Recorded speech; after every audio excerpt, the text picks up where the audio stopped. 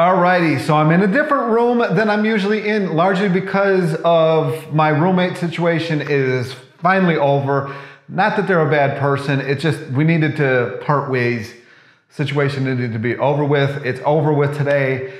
They left and I scrubbed this house like crazy. So now, unfortunately, it smells like bleach. Luckily, it's not that um, warm of a day. It's like 80 degrees out there. So I got all the windows and doors and everything open to kind of, I don't like the smell of, uh, this stuff smells like chemical warfare these days. But I wanted to make a quick video. Anybody who has been having a hard time or just been going through a lot the last couple of years, you're not alone in that. I think there's a lot of us that have been going through that or kind of like awakening uh, to ourselves or just seeing things for in a different light than they than we used to see it.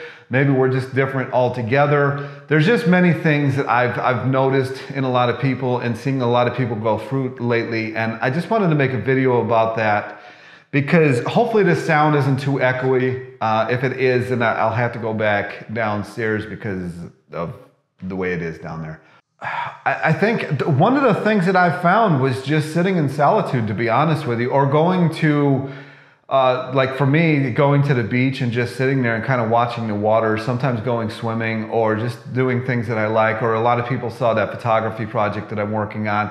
I am going to link that Instagram, actually, now that I think about it. If you want to see my photography project, um, I'm going to put that Instagram uh, in the description section. Go check it out but yeah, I don't have a lot to say about it, largely because there's other people involved. They don't really want me making videos about them. I don't want to be making videos about them.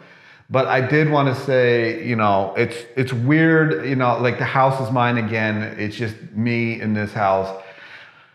And yeah, so it's it's an adjustment. And honestly, I'm not the biggest fan. I'm not the biggest fan. I've kind of realized over this last year or even six or seven months that I'm kind of like a total romantic.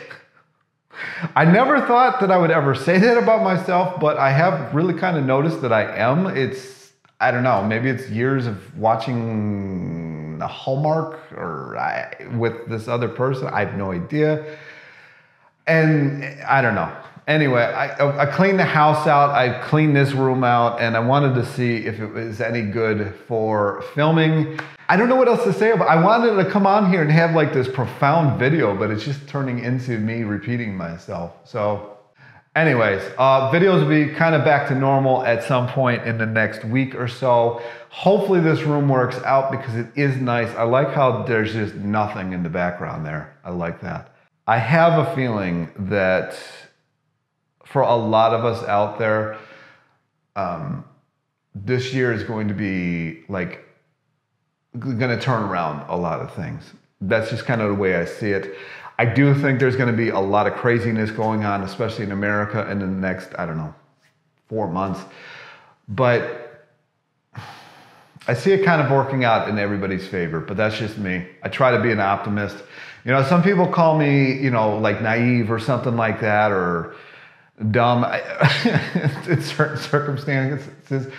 And I kind of just don't like letting my kindness or who I am be drowned out by other people's darkness. So I just am who I am, um, and you be who you are. the people who are watching this video know who I'm talking about. Um, anyway, uh, comments, probably questions, probably none in this video, but I'll talk to you in the next one. Peace.